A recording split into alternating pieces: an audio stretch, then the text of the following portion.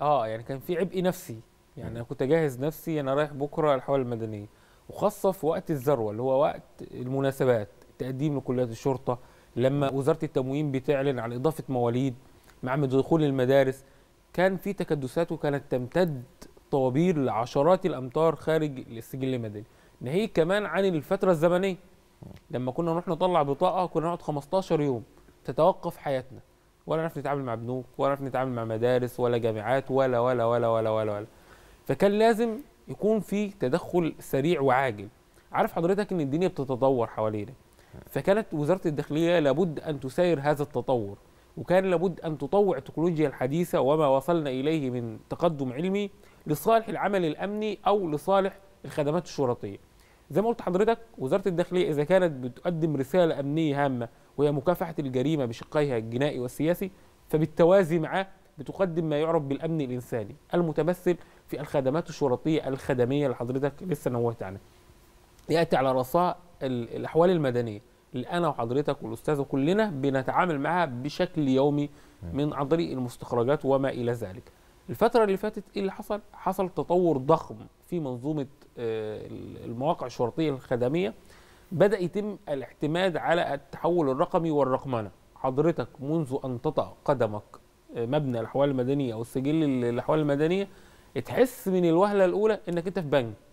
تدخل تاخد رقم. ما عادش فيه طوابير ما عادش فيه تشوف حد لا خالص. تدخل تاخد رقمك في مكان متحضر بتقعد عليه.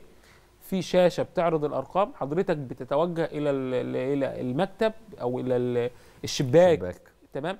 حضرتك كنت قديما بتلف على 10 15 شباك.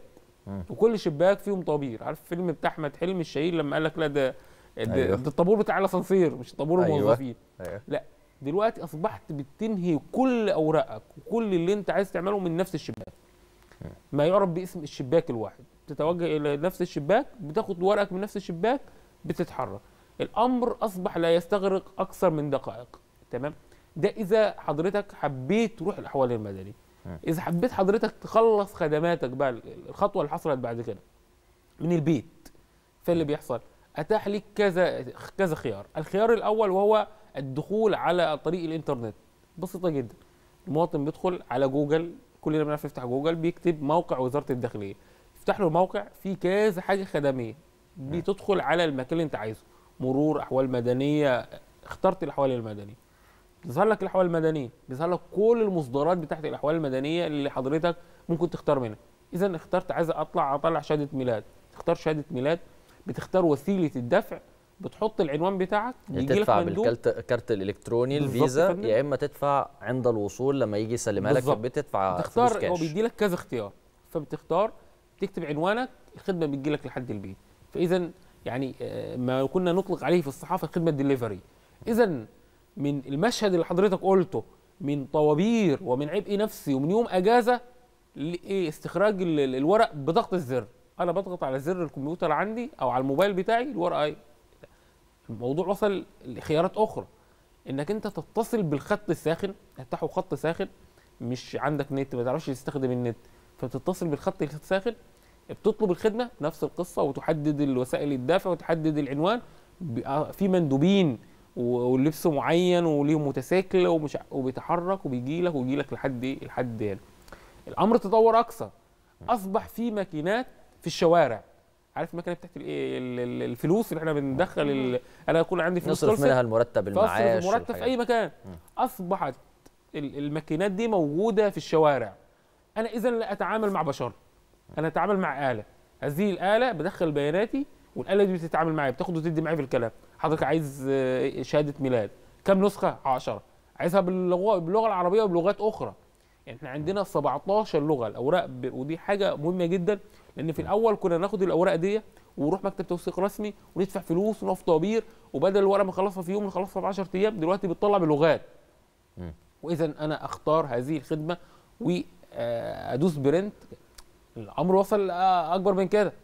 إن هذه المراكز أو النموذج السجلات المدنية أصبحت لا تقتصر على المبنى بتاع الأحوال المدنية لو في العباسية وفي المحافظات وفي الأقاليم وفي الصعيد وفي الدلتا لا.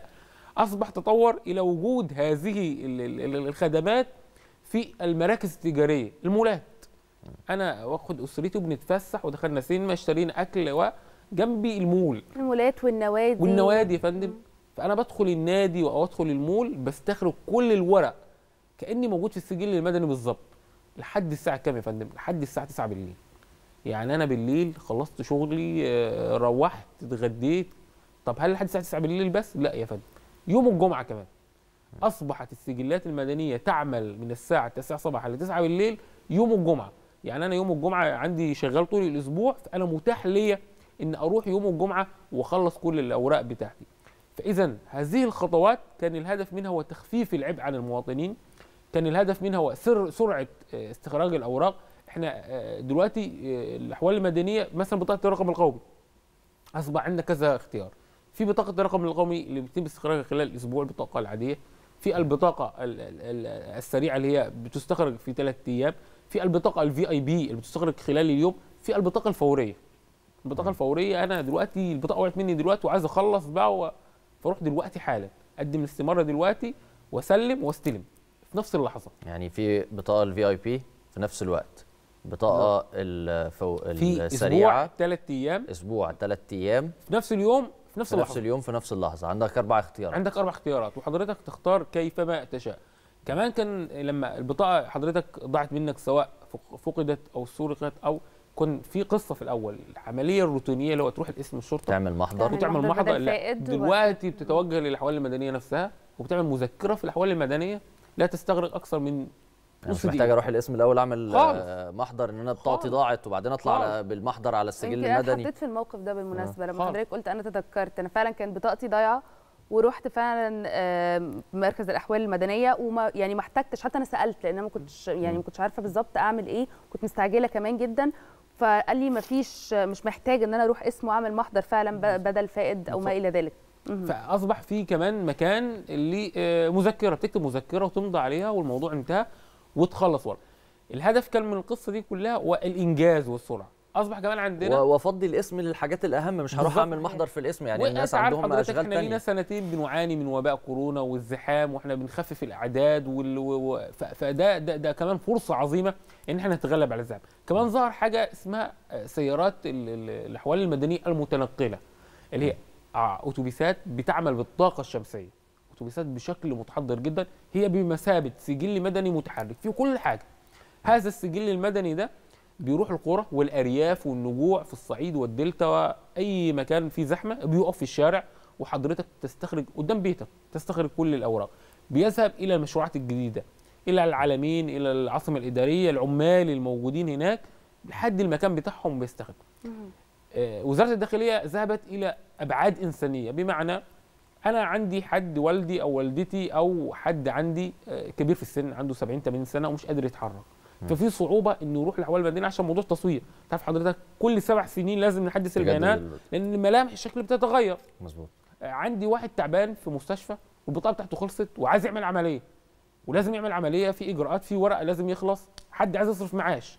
فأنا فأتاحت وزارة الداخلية عن طريق آه، الإعلام والعلاقات إن حد من الدرجة الأولى يروح يقدم طلب. حضرتك عندك حد قريبك فبتروح تكتب طلب مكتوب أنا عندي وتكتب حيثيات الطلب. مريض كبير في السن وترفق ما يثبت كلامك. وتسيب رقم تليفون. إيه اللي بيحصل بقى؟ أنت ما بتعملش حاجة تاني. هم اللي بيعملوا بقى. خلال 48 ساعة بيجي لك تليفون. يا فندم في مأمورية هتطلع بعد بكرة من الأحوال المدنية. نستأذن حضرتك تيجي تتحرك مع المأمورية. حضرتك بتتوجه مع المأمورية من هناك في عربية مجهزة سجل مدني ومتنقل. بيروح لحد بيت حضرتك. بيصور ال- ال- الشخص صاحب الشخص البطاقة. ده ويا فندم بعد كده بيرجع تاني ويخلص البطاقة ويبعت مندوب يسلمه البطاقة وهو في البيت أو هو في المستشفى أو أو أو.